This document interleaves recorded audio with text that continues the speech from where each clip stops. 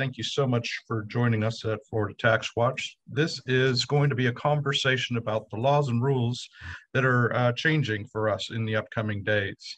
Uh, I think you all know Florida Tax Watch is an independent, nonpartisan public policy think tank dedicated to protecting taxpayer interests. And one of the things that we do, in, uh, including uh, the focus on improving taxpayer value, is raising citizen understanding and making sure that there's government accountability day in and day out in Florida. Today's webinar is part of an ongoing series that we will host each uh, end of the month on the Wednesday of uh, uh, the last week of each month. Uh, today, we're going to be focusing on the laws that were passed and going into effect on July 1st. There were 149 of the 280 bills that were passed this last year that have an effective date of July 1st. Uh, don't worry, we're not going to cover them all. We're going to tr try and hit some of the highlights and particularly those that have some fiscal uh, impacts. Uh, also want to uh, highlight that we are going to cover a lot of different topics as we go along.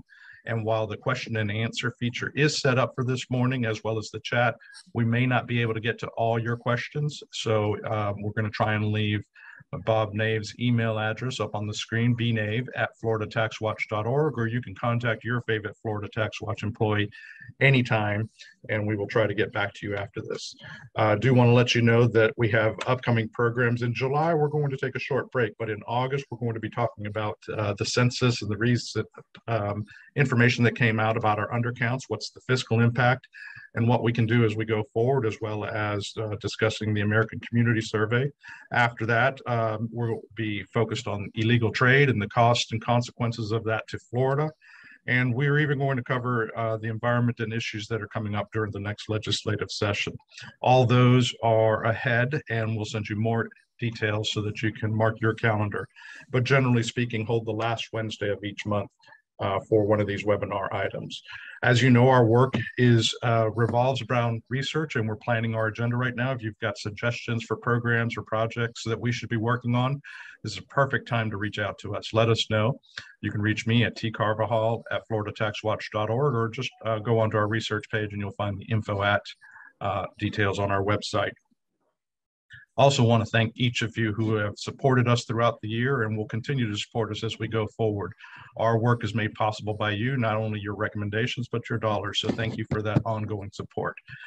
All right, that's enough of the intro comments. Let's find out what goes into effect on July 1st. And I'm going to turn the program over to our Senior Vice President, Bob Nave. Uh, Bob, the floor is yours. If you'll tell us a little bit about the laws rules that are coming into effect on July 1st, uh, we're sitting here with bated breath. All right, thank you, Tony. I appreciate that. Before I do that, I want to introduce the Florida Tax Watch research team. Uh, to my left is Meg Canan, a research analyst, and joining us remotely is Kurt Wenner, Senior Vice President of Research. Kurt, thank you. We're going to look at, at uh, what the, the 2022 legislature did um, today, and we've divided the laws that were passed into a number of categories. We're going to look at business laws that affect business, uh, laws that affect education, that affect elections, the environment, government, healthcare, and taxation. And then at the end, we're going to spend some time talking about the three proposed constitutional amendments that'll be on the November 8th ballot. So with that, we're going to start, we're going to have put a PowerPoint deck up for you to look at. And summarizing the legislature, there were more than 3,700 bills filed in the 2022 legislative session. 285 of those became law.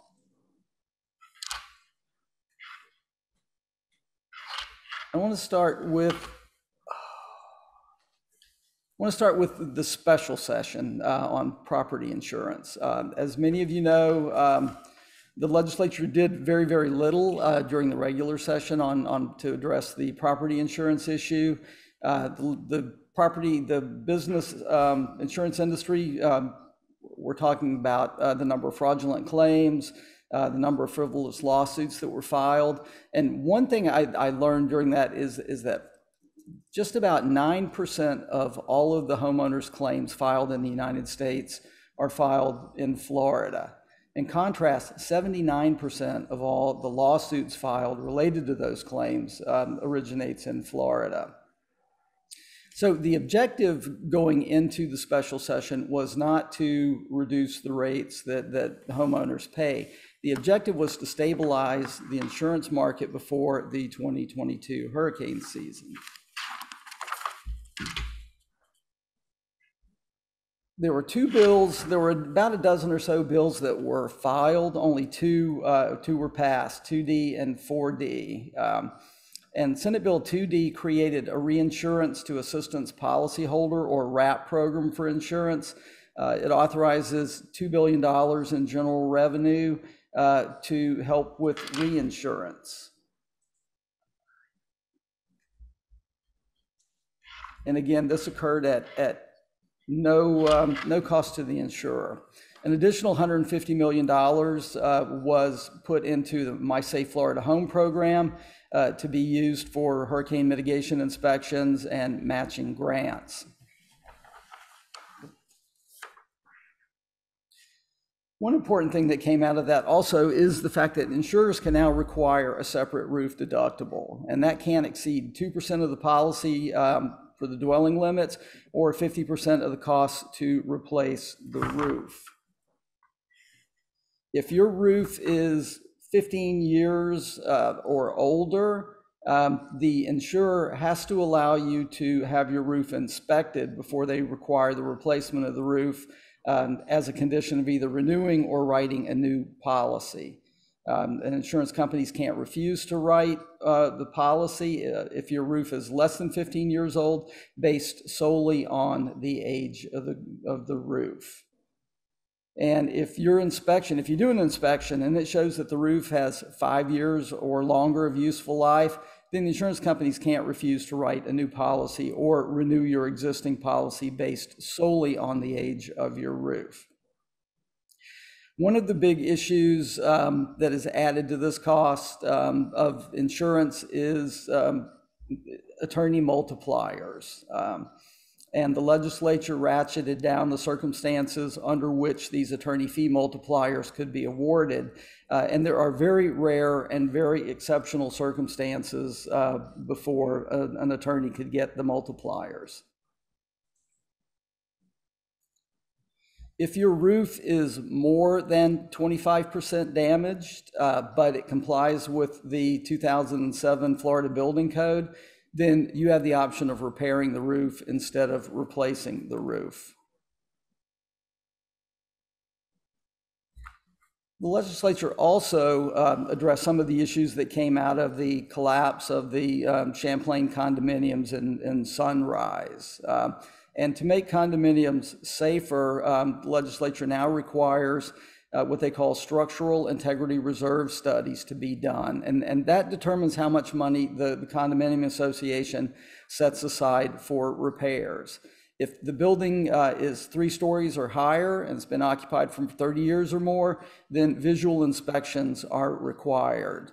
Uh, and they also, those inspections are required if, if the condominium's been occupied for at least 25 years, if it's within three miles of, of the coastline. Um, and again, every 10 years thereafter, there are requirements for inspections, or if any kind of substantial deviation or issue arises, uh, that, that would also trigger the need for inspection. And the results of those inspections have to be made available to building officials, uh, the, the condominium owners, and if they're trying to sell the condominium, to the prospective buyer. One other bill that was filed during the regular session, House Bill 7, is the Individual Freedom, or it's commonly referred to as the, the Stop Woke Act.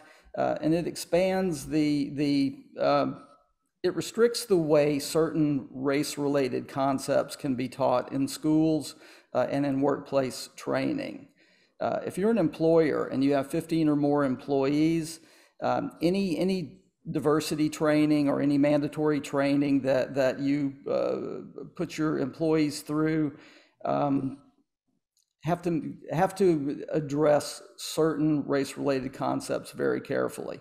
On one hand, um, it, it, doesn't prohibit the discussion, but it does prohibit the discussion if that discussion uh, makes your employees uh, feel uncomfortable. Um, So if it's uh, if, if you address these these concepts in a very objective, um, non-judgmental way, and you do it in a way that doesn't make your employees feel uncomfortable, um, then then you can do it. Um, so we will see on that. Um, now I'd like to turn over to Meg Canan to talk about some of the education bills that were passed. Hi.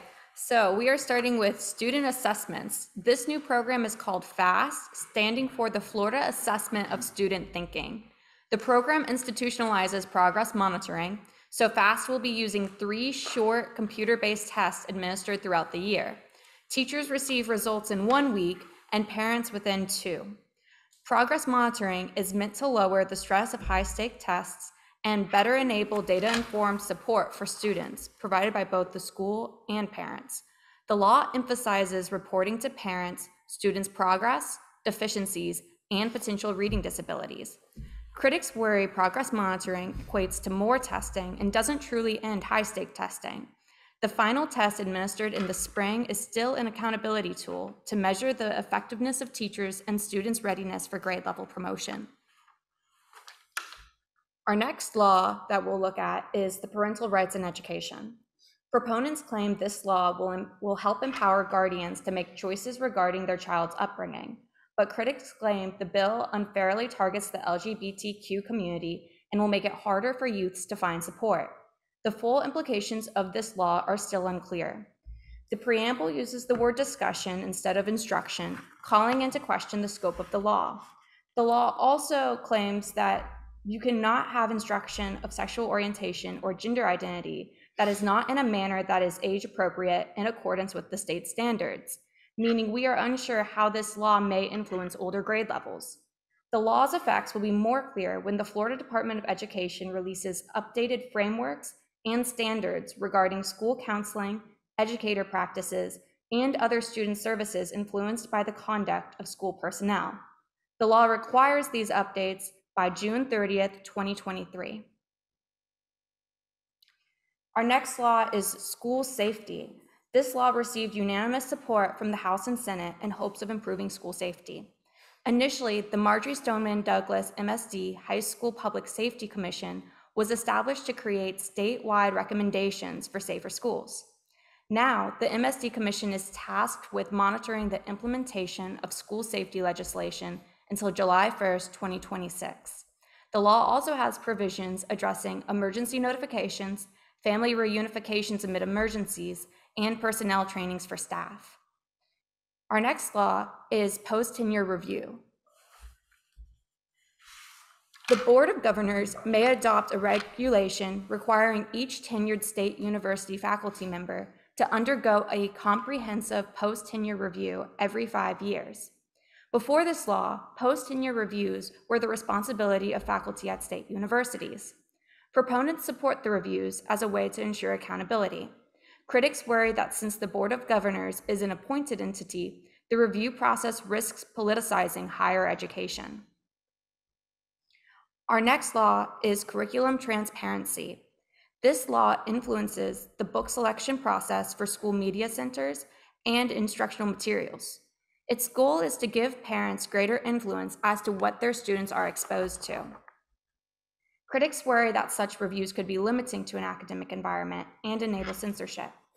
Districts will be responsible for developing a process for determining how to resolve objections from parents or county residents so the scope of the law will depend on the choices of localities. Next, we have charter schools. Historically, school districts are the entities approving charter school applications. This new entity, the Charter School Review Commission, CSRC, is an additional venue to receive approval. Regardless of which entity approves a charter school, the school district remains the school's supervisor and sponsor. The law strives to increase students' opportunities to attend charter schools and to ensure charter school students benefit from best practices. This is why the Institute for Charter School Innovation at Miami Dade College is part of this law. However, critics worry about how the law may influence the relationship between charter schools and school districts.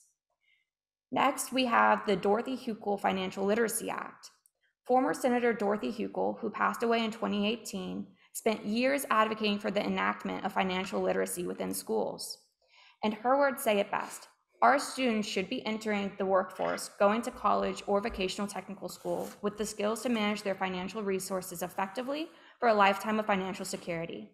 So, based upon this premise, students entering high school in the fall of 2023 and beyond will be required to have a half credit of financial literacy or personal finance and as a graduation requirement. The law passed with unanimous support in the House and Senate. To you, Bob. Okay, thank you, Meg. Um, one bill that got quite a bit of attention during the session was Senate Bill 524 that dealt with elections. And this bill created within the Department of State um, the Office of Election Crimes and Security. Uh, and they are tasked with uh, investigating um, voting irregularities. Uh, this office will consist of, there'll be 15 staff members who will investigate um, fraud, and there'll be 10 police officers who will investigate election crimes. Uh, legislature appropriated about $3.7 million uh, to run this office. Um, of concern is the fact, excuse me, that the, the law doesn't identify the election crimes and irregularities that this police force will, um, will investigate. Um, so the, the bill as passed is, is, is vague. Uh, there's a lot of stuff that's undefined, and uh, the, this police force uh, will be given uh, a lot of leeway uh, in terms of, of what they investigate. We want to shift now to uh, the environmental laws that were passed, and Meg, I will turn it back to you. Thank you, Bob. So our first bill is resiliency. The Office of Resilience originates from a 2019 executive order, so this is an entity that we already have. However, with the passage of this bill, it is now codified into law. The Office of Resilience is meant to provide strategic direction for interagency initiatives to minimize the vulnerabilities to floods. The law specifically addresses a need for states' transportation systems and for our smaller cities and counties to be ready to withstand floods. While the law received a lot of support from the House and Senate, critics want more action.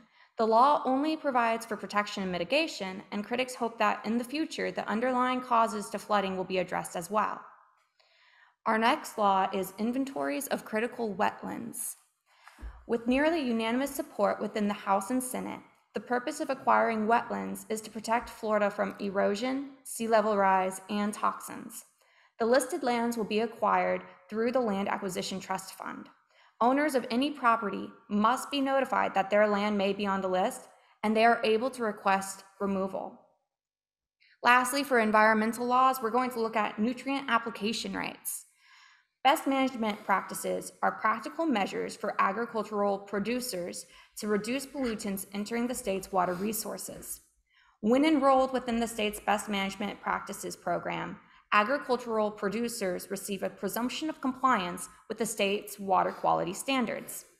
UF's IFAS, Institute of Food and Agricultural Sciences, provides expertise that aids the adoption and implementation of best management practices. This law will allow certified professionals outside of IFAS to give site specific recommendations while maintaining a presumption of compliance with water standards. So this would be the same as if they practice the best management practices, they are still considered as in compliance with water standards. While this law can help farmers with specific needs, critics worry that allowing sources of recommendations outside of IFAS may lead to additional pollutants and contrasting practices. IFAS is also charged with determining site specific nutrient management for crops other than citrus, indicating an intention to expand this system to other crops in the future.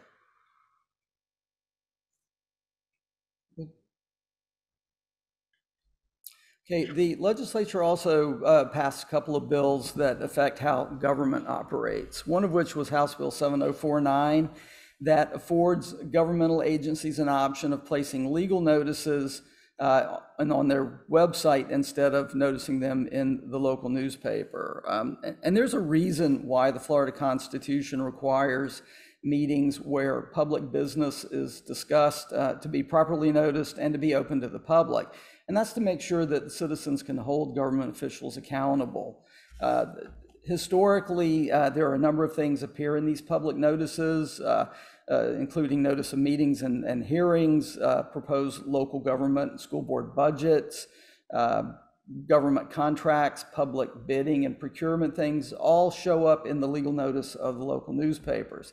And this will let local governments put those notices on their website instead.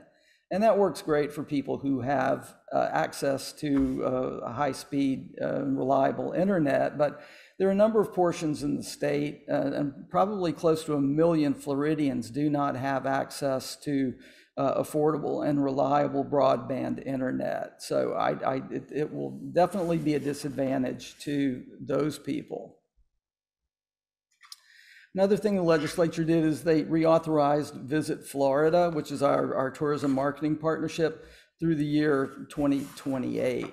Um, the House and Senate filed different versions of that bill. Uh, the Senate wanted uh, an eight-year extension, the House wanted a five-year extension, and that is ultimately what they did. They extended it through October of, of, um, of 2028. Legislature also appropriated $50 million in non-recurring money uh, to, to fund Visit Florida.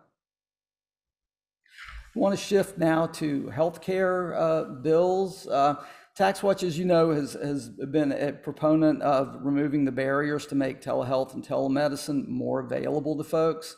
Um, Senate Bill 312 was passed. Um, and the bill as originally, what it, what it does is it removes a lot of the prior restrictions on prescriptions. So there are now uh, Schedule II drugs can be subscribed if certain conditions exist. So this will make it easier for uh, patients to get their prescriptions refilled uh, through telehealth. The original bills that were filed had uh, an audio provision where um, you could you could call in on the phone and and get these done, but that uh, the Senate approved that. Um, the House uh, took the audio uh, phone call provisions out of the bill, um, despite their value during uh, the, the COVID pandemic. Abortion, an abortion bill was passed. Um, and that's all we're going to say about that. The uh, No Patient Left Alone Act um, it's designed to make sure that family members can visit um, their patients in, in healthcare facilities even during a pandemic. Um, it guarantees families a, a, fundamental right to visit their loved ones. Um, in addition, uh, the law prohibits healthcare facilities from requiring a vaccine as a condition of visitation. Uh, and every healthcare facility has to allow their residents and patients to be hugged by their loved ones. Senate Bill 804 changed the standards for nursing home staffing. Um, and rather than read those to you, um, the, the, bill essentially loosens the staffing standards. Uh, in mid January, more than 85% of the nursing homes reported uh, that they had to limit admissions because they didn't have enough employees to meet the current staff standards. Um, so with this law, those standards are relaxed, and nursing homes that, that don't meet these new standards uh, will no longer be barred from admitting new residents.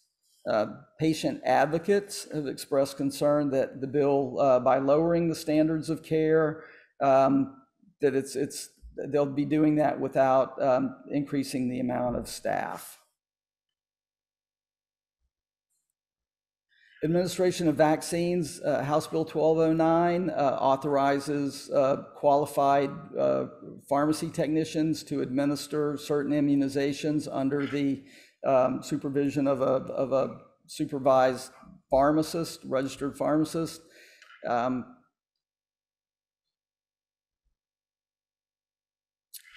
Senate Bill 7014 extended uh, the length of time that healthcare providers will get uh, protection from civil liability um, related to COVID 19 related claims. So it essentially extends it about 14 months. Uh, the, the existing uh, protections would have, would have expired in March of 2022, and the legislature has extended those to uh, June of 2023. And I would now like to turn the, the program over to Kurt Wenner to talk about some of the things the legislature did related to taxes and taxation. Kurt? Um, hello, everybody. Thanks for joining this uh, webinar. Uh, I'm, I'm going to go through uh, the tax bills. Let me start my video, my video there. um, the legislature passed a fairly significant tax package this year, House Bill 7071. Um, it's going, depending on how you count it, uh, it's going to save taxpayers about 1.1 billion, which is how the legislature counted it. Um, it's largely temporary cuts, uh, not you know non-recurring like sales tax holidays and it focused more on providing relief to individual taxpayers than uh, businesses. There's relatively little relief in there for businesses. Um, the, uh, well, it's actually the second biggest one in there is the, a gas tax holiday, which is going to be a month long attempt to um, help ease the pressure of increased uh, gas prices. Um, it'll save about a little more than 25 cents per gallon in state taxes, uh, about $200 million. One thing the legislature did was with the um, federal coronavirus uh, recovery fund money, uh, they're taking $200 million of that and putting it back on the Transportation Trust Fund. Um, so that's not impacted by this holiday. So it's going to be interesting to see what kind of visible impact this has on gas prices, particularly when you know they fluctuate so so rapidly. Uh, could you go to the next slide for me? There was also a lot of sales tax exemptions, both holidays and temporaries, and a few um, permanent ones. There is a sales tax holiday um, for back to school, which you know we have almost every year. They expanded it this year beyond just clothing, school supplies, uh, and computers to uh, they ex uh, expanded the school supply section to include any kind of learning tools. And this even includes things like jigsaw puzzles and uh, kids building blocks. Um, and so, and it's also increased the limit on school supplies. It used to be about $15 to 50 so um, it's, a, it's a significant increase in um, the amount of savings that are available. Uh, there is also um, another, as they did last year, another Freedom Week um, holiday, which is for recreation. It's tickets to just about any kind of a sports or, or arts event, um, any uh, outdoor activity supplies, you know, boating, sports, there's a, a lot of stuff available there. It's actually starting in a couple days. And people seemed to like it last year, so they did another one. Another one that happens often is uh, the disaster preparedness.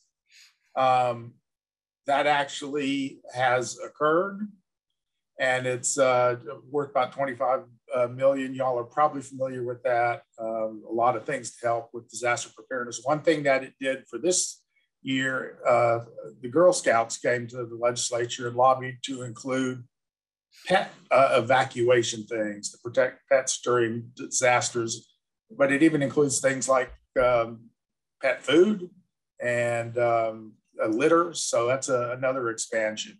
And then there's the tool tax exemption, which is a new one, about $12 million. And basically any kind of uh, tools used by skilled workers, but you know anybody can buy them, and things like uh, you know work gloves and tool belts and things like that. So those are the four sales tax holidays. There's also some temporary sales tax exemptions, which are really like longer holidays. Uh, there's a two-year exemption for impact uh, resistant windows and doors. That's been tried for a while. That is actually the biggest one in, in here is $205 million. Uh, diapers and clothes uh, baby clothes for toddlers and babies. Um, one year, 75 million. You know, the diaper one is something that's been talked about for some time. It finally got over the hump this year. Uh, another one year for Energy Star appliances. That's energy efficient, you know, washer, dryers, uh, refrigerators. Um, and then there's a, um, a smaller one, three months for children's books, about $3 billion. There are some permanent sales tax exemptions, but they're generally rather small. The total of them all is $45 million. Uh, the mobile, the tax on the purchase of new mobile homes was reduced from six to three, cutting it in half. There's also full exemptions for uh, uh, equipment to produce green hydrogen, which has a lot of promise in energy efficiency, um, agricultural fencing and farm trailers. And they're going to add Formula One races, World Cup uh, events, and Daytona 500 tickets to the you know current long list of exemptions we have for various sporting events. Uh, go to the next one, please, Bob. Thank you. There's also some uh, property tax changes. The biggest one in terms of dollars is they uh, another thing they've been trying to do for a year for a while, and they finally did it. Is they increased the $500 widow, blind, and disabled exemption to $5,000. That's for 46.7 million. They also had uh, several changes that are smaller in terms of dollars, but uh, you know changes involving residential buildings impacted by catastrophic events in response to the Surfside tragedy. Uh, there's a change to how the affordable housing um, uh, exemption is calculated or when it starts. Uh, there's a new uh, exemption for some aquaculture company um, property and they they expanded the deployed service uh, member um, uh, exemption. There's some tax credits, a new corporate income tax credit for short line short line rail investment. That's a new one, but they also increased the cap from three existing ones. Uh, the New Worlds Reading Initiative, which was passed uh, last year, uh, the, the community contribution, and the strong family tax credits, and, and those all applied to multiple taxes. They also provided an exemption for federal emergency loans, uh, such as the uh, Paycheck Protection loans passed um, uh, during the pandemic. Uh, that's something that the Florida Tax Watch Tax Advisory Council recommended. And those are the taxes. One thing that hasn't got as much is uh, there's actually also a tax increase in there it has to do with corporate uh, income tax. Many of you may have heard me talk about this before. I'll try to be brief. But um, the bill, the tax package, one of the provisions adopted the IRS code. They piggybacked with it like uh, we usually do. In there, there is a uh, change that will cost um, any business that is uh, that does research and development has been taking that credit.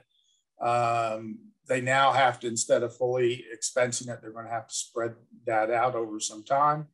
It's actually estimated to have a pretty significant hit. And if that was included in the, if every, if all of it was included in the estimate, the, the actual savings from the tax package would be much lower.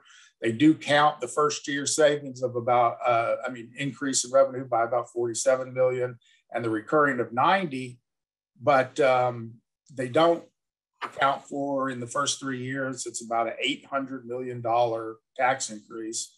And, you know, this comes on top of the fact that the corporate income tax rate, which has been uh, temporarily reduced, is going back to 5 point, has gone back to 5.5%.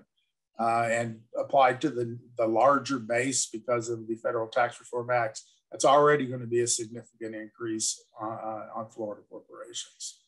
Um, next slide, please.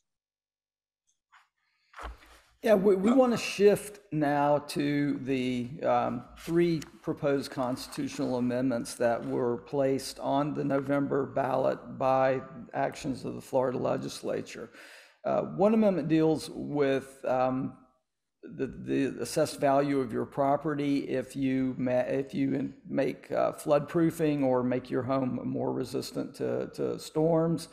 Uh, The second constitutional amendment would eliminate the uh, Constitutional Revision Commission, and the third constitutional amendment would uh, provide an additional homestead exemption to certain specified uh, frontline type public servants. So Kurt, can you talk to us a little bit about the, the first proposed constitutional amendment? Yeah, the first um, proposed one, uh, Amendment One, it was actually, the joint resolution was passed the last session in 2021, but it's going to be on this uh, upcoming ballot. And it uh, provides that the legislature can pass a law to say that um, any improvements to residential property to improve that property's resistance uh, to flood damage cannot be used in determining um, the assessed value of such property uh, for tax purposes. You know, this joins the um, already existing exemptions for um, improvements for uh, to improve the uh, resistance to wind damage and also the installation of solar on renewable energy sources. Um, we think that largely this is a good idea um, because, you know, it, it, will help incentivize people to take some of the steps to improve resiliency, which the legislature did a lot, has done a lot to um, kind of promote that idea in the last couple of years. Um, I don't know if Bob mentioned, but we have a, uh, um, we will be having a uh, a constitutional, a voter guide to these constitutional amendments coming out uh, in, in a month or so. Uh, so look forward to that. You can get more information. I'll turn it back to um, Bob for Amendment 2. Thank you, Kurt. The Second Amendment would abolish uh, Florida's Constitution Revision Commission. Um, Florida is the only state that has a Constitution Revision Commission. Uh, it meets every 20 years to consider amendments to the Constitution. Uh, it last met in 2017 and 18. Uh, if the Constitution Revision Commission were to be abolished, uh, there would still be four ways to amend the Florida Constitution, all of which would require voter approval. Um, this, this proposal received uh, very broad uh, bipartisan support. Uh, it was the, the, the resolutions were passed out of the House and Senate uh, uh, unanimously or, or, or almost unanimously. Um, the idea of getting rid of the CRC has been uh, supported by conservative um, organizations like Americans for Prosperity, and it's also been supported by uh, liberal organizations like the National Organization of Women and the Florida Policy Action Network. Um, those of you who remember the 2017-18 um, CRC uh, will remember the, the, um, the concerns that were expressed about the bundling of proposals. Um, five of the seven measures that were on the ballot uh, in 2018 uh, included more than one subject issue. One that is um, pointed out the most often is the, the one that would have um, prohibited vaping in public, space, public workspaces uh, and would also uh, restrict offshore oil drilling. So uh, you, you may like to vape uh, and would not vote for that, but um, you, to, to, get one of these measures, you have to approve both of them. Uh, the Supreme Court has looked at that and said that that, that is that's acceptable. That there it is. It doesn't violate uh, the Constitution to do that. Um, those who oppose abolishing the Constitution Revision Commission um, argue that that um, the, the, people have to have a way to bring issues uh, to the ballot if the legislature refuses to act. And as Kurt pointed out, we'll be releasing our voter guide uh, in the end of September of this year, and we will uh, go into a much more in-depth analysis of the pros and cons of each of these, and uh, along with a, a recommendation from Tax Watch.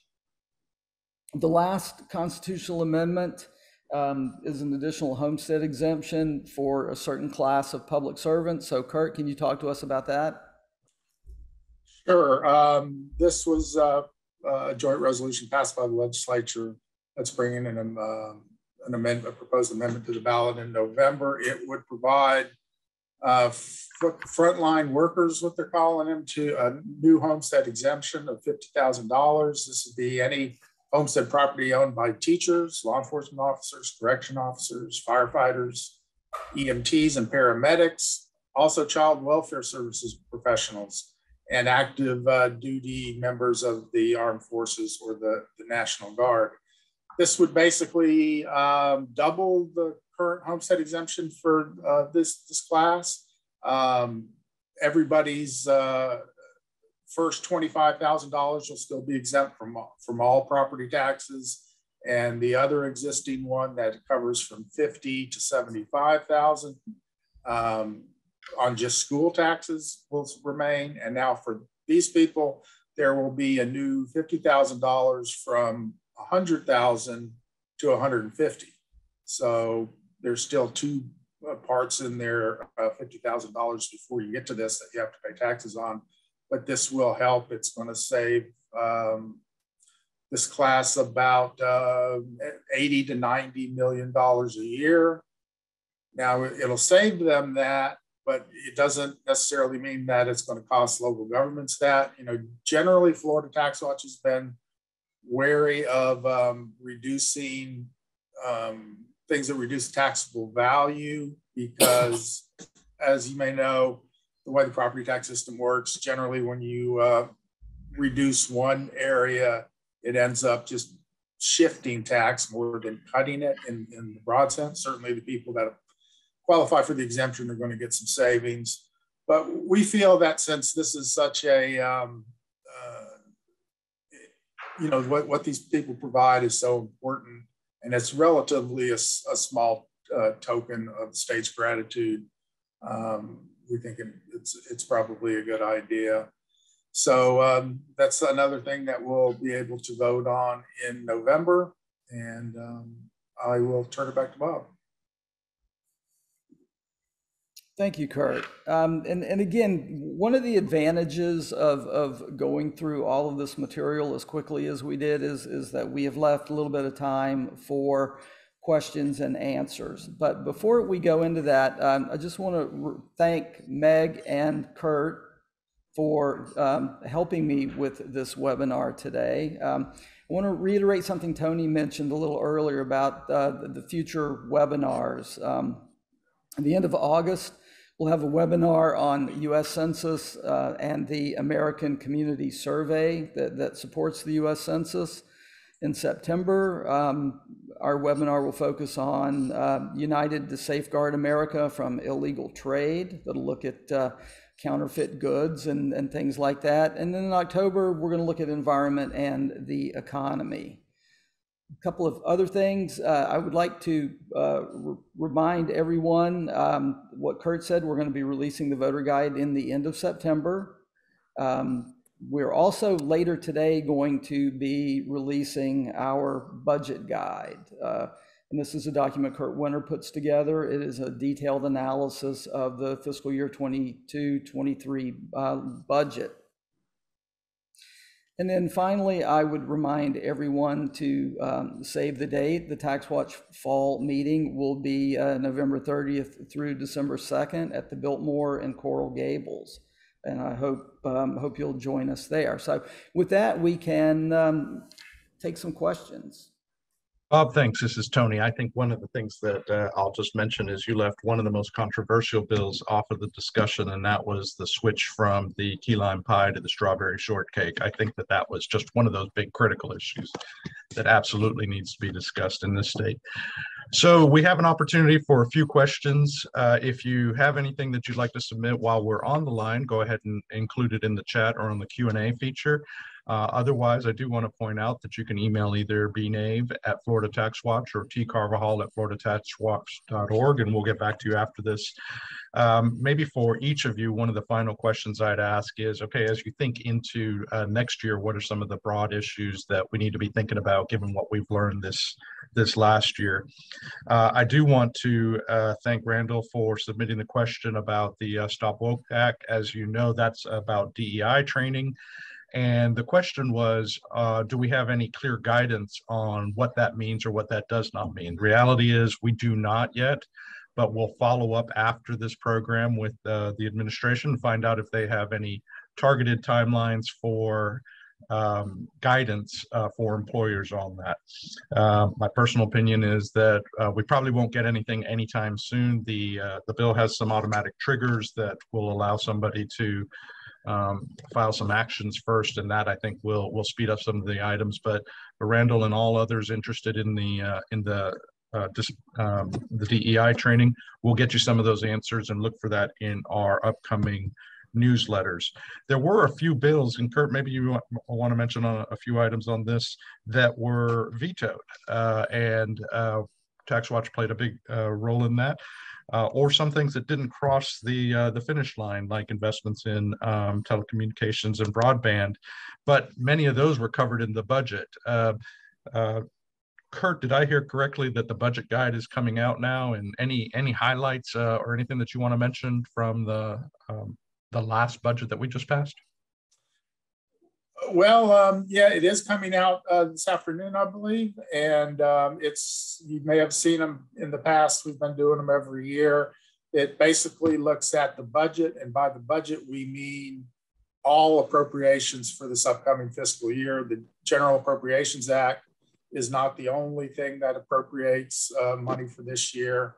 Um, there's some things in what they call the back of the bill for this year, which for some reason are back there instead and don't count in the totals that, uh, that are publicized, the 112 billion dollar budget. Uh, we also take uh, any appropriations made in general bills during the session, and they're included in there as well. And we also adjust for the governor's vetoes, which, as you know, were pretty significant this year. He vetoed uh, $3.1 billion in line item vetoes. Not all of that actually reduces the budget, uh, but it does reduce the budget by a little over $2 billion.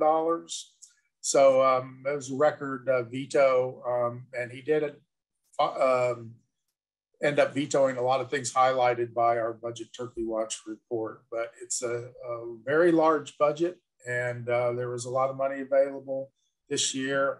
And so, um, uh, you know, they could do this and make a lot of investments. They could, and still have record uh, budget reserves. So we still have a lot of money in the bank. Um, you know, money's been coming in pretty fast and furious. The federal dollars actually helped and one thing I'll say is another thing that the budget doesn't count is the three and a half billion dollars in coronavirus relief funds that were also appropriated in, in the back of the bill. They're not part of that $112 billion. Tony mentioned broadband. There was a, a, a bill that didn't make it, but they did put in the $400 million there for uh, to help increase um, broadband ac access to unserved areas, which we think is a, a major um, economic development issue, and uh, we're glad to see it. So look for the uh, the budget guide. There's a lot of good information in there. It also puts it in historical context, so you'll see uh, how it compares to past budgets, and uh, we look at it in a lot of different ways. So look out for that.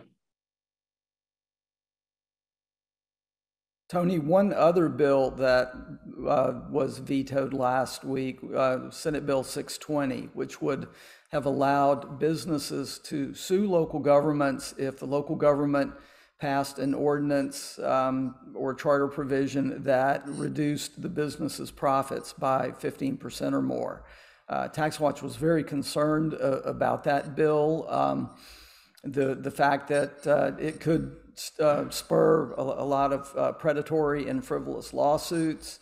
Uh, it would raise the, the legal bills of local governments. It would affect their ability to raise money. Uh, and, and eventually, uh, you know, when local governments have to increase their costs, they have one of two ways to do it. They either cut services or they raise taxes. And both of those uh, would adversely affect um, the taxpayer. And um, we were glad to see the governor veto that bill. And there was a, a Department of Revenue bill that also got uh, vetoed, and actually there was some progress made in in clearing up some of those items. But just want to to know that we are working on forming a task force uh, to to clarify some of the the rights that were being infringed on, as well as some of the things that need to be fixed in in that bill. Uh, Kurt, I know that uh, you'll probably take a lead on that process. Anything, uh, if somebody wants to reach you now to to be part of that, uh, it's Kay Wenner at FloridaTaxWatch.org.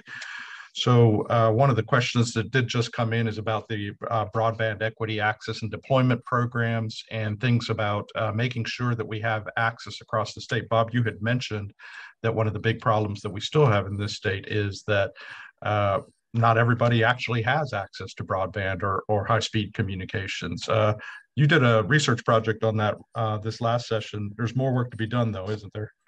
There is. And, and one of the good things that came out of the session was the legislature appropriated $400 million to go into the Department of Environmental Opportunities uh, broadband grant program. Uh, and the DEO is working closely with the regional planning councils and local governments to, to get a handle on where broadband uh, starts and stops uh, to better define these unserved and underserved areas. Uh, but the good thing is um, DEO um, will now have some money that they can pass through to local governments to, to get a better handle on broadband. Yeah, so we're uh, the state's asking for your assistance in testing high-speed connections around the state. If you'll, we can uh, look in the next newsletter. We'll send you some details about how to test the speed around the state. But keep an eye on that because uh, connectivity is a big part of uh, future economy and and this is going to be a big part as we go forward. Hey, Meg, I know that you've been uh, taking a lead on some of our census and ACS work, and you'll be discussing some of those items coming up in August. Just at a high level, uh, how did uh, we do in this last census, and uh, are we looking good for federal dollars coming into the state, or did we take a black eye again? Thanks, Tony. So we have an undercount of 3.48% according to the US Census Bureau. And we are one of few states, I think one of six, with a statistically significant undercount, meaning we definitely miss some people. And it is going to take a hit to our federal funding that are, is based upon how many people are in our state. Yeah, that's not a new thing, but uh, the numbers are pretty high this uh, this last time. So I'm looking forward to hearing a little bit more about that in August. And I know you're working on a paper that uh, we're planning on releasing in, in terms of what we can do in the meantime. Because while this has a consequence for for 10 years, there's uh, things in between, like the American Community Survey, ACS, that that we might be paying attention to. All right, uh, another question here on sales tax. Uh, maybe I guess this is much more because they heard this at our spring meeting uh, Speaker designate Renner asked folks to uh, submit suggestions on sales tax exemptions that maybe should be lifted and stuff. Kurt, we've got a, a task force that we're going to uh, launch uh, later this year and submit some recommendations on that. Any any high level ideas or thoughts on that uh, that that we could share at this moment? Well, you know, the idea of uh, sales tax exemptions and the potential review of them is a real complex, difficult, and sticky situation. Um, everybody has all the exemptions, still have supporters somewhere. Um, and the question is, you know, when does good tax relief become unnecessary uh, exemptions? You know, exemptions generally kind of distort uh, tax policy. Uh, a good tax policy that's fairness and equity and you know uh, simplicity. So you have to make sure that when you do exempt something, that it serves a purpose. And exemptions tend to stay in the budget forever. Uh, or in law forever. So we're going to be looking at that. Um, we've done some work in the past on exemptions. You know, you hear about all the exemptions that exist about how more is exempt than taxable. That's not really true. When you look at it, there's big chunks that have to be exempt, uh, either by controlling um, law or, you know, people count services, which really just aren't part of a sales tax. Um, and there's also, you know, some life's necessities, which uh, some people think that might not help, but uh, you know, we do without an income tax, we have a fairly uh, regressive tax system. And so uh, necessities are something that certainly I can understand why people would want to exempt. So we're going to be looking at all of the ones, uh, you know, um, uh, uh um, Speaker Renner said, um, you know, that he wanted us to have, find uh, sales tax turkeys, which are, you know, I don't know if that's going to be the best uh, term for them, but we're going to try to find ones that uh, maybe don't serve the purpose they were intended to or may not provide a real benefit to the state. Well, we're pretty good at hunting turkeys, uh, it seems, this last year. Congratulations to you and the whole team for for that research. Okay, uh, team, we're coming up to the last few minutes in this process, so maybe the question I'll ask for you is, um, what do you think's coming up this next year that we need to be thinking about? And uh, as you think about your answer and get ready for a quick round robin on this one, I just want to encourage each of you who are uh, watching this program to submit your suggestions on what we should be uh, working on over the next uh, coming year. Uh, in November, we'll uh, seat a new legislative cohort and the legislative uh, session will start in March of next year. But this is an excellent time for you to be suggesting research projects and partnering with us on work that we'll be doing. I should mention that you can go to floridataxwatch.org and look at our research page if you want to find out the types of works that we had influence on this last year. If you have suggestions, you can reach out to, to Bob, Kurt, myself, or Meg uh, and uh, submit those ideas. You know, I don't think that uh, many of the issues that uh, were addressed this last year, whether they were uh, um, completed or not are, are, going away. We're still going to have questions about insurance. We're still going to have questions uh, around uh, how to manage business operations and, and taxes and audits and, and those types of things. Uh, chances are that the Business Protection Act and, and the audit process will come up again, as will broadband and, and other issues so we'll have a repeat uh, to some degree of many of the issues that that we had this last year, and that's just the way this process works. It's it's an iterative uh, learning, re-energizing uh, process. But if you've got one of those items that uh, you'd like to see us working on, uh, great time to let us know now, and look forward to partnering with you that on those items. So um, I'll start with you, Bob. Then I'll go to Meg and Kurt. And uh, you know, what do you think you're going to see this next year? What are you going to be working on as we lead into the next legislative session? Well, three issues that that are important to me. Uh, one is affordable housing. Uh, there are so many Floridians simply can't afford to live near where they work, so they have long commutes. And when you couple that with the price of gas these days, that, that just creates uh, additional problems for those folks. Uh, water quality and quantity is always at the top of my list. Uh, I, have felt that what the, the availability of water uh, will dictate where growth continues to occur in the state. Uh, and then finally is, is the, the insurance issue. as I said earlier, the objective of the special session wasn't to uh, provide immediately immediate relief to uh, policyholders. It was to stabilize the market before the hurricane season came. Uh, so I think at some point there will be additional pressure on legislators to do something to lower the rates. Thanks, Bob. Matt?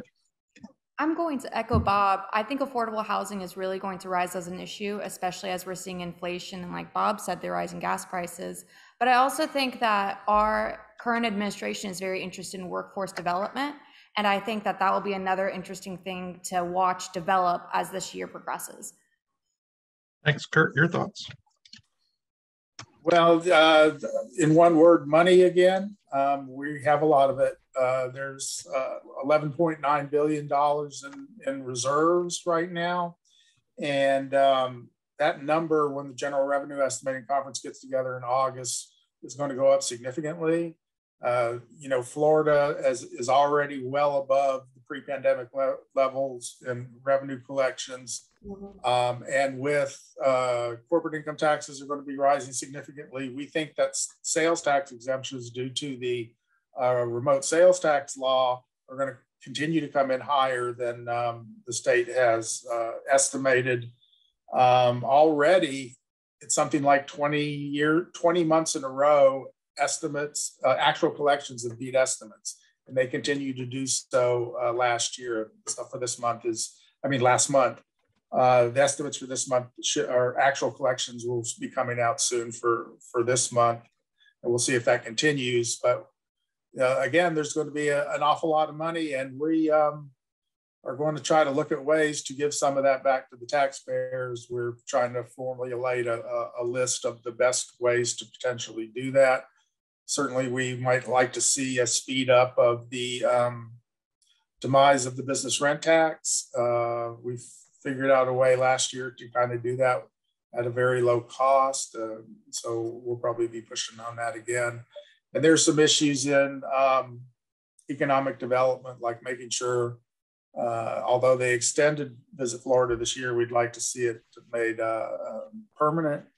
And we'd like to, uh, we think that bringing back the uh, QTI program, the Quality Qualified Target Industry uh, program, would be a, a good thing for Florida. So those are just a couple of things that we'll be looking at next year. Well, we've got a broader range of issues on, on the agenda. Some of the things that I've been looking at include water infrastructure. Bob, I think you're right on target um, with those items. Uh, Meg, I know that we've been talking about workforce issues, and one of those side issues is the impact of childcare on Florida's economy, and, and look for some papers and commentaries on that.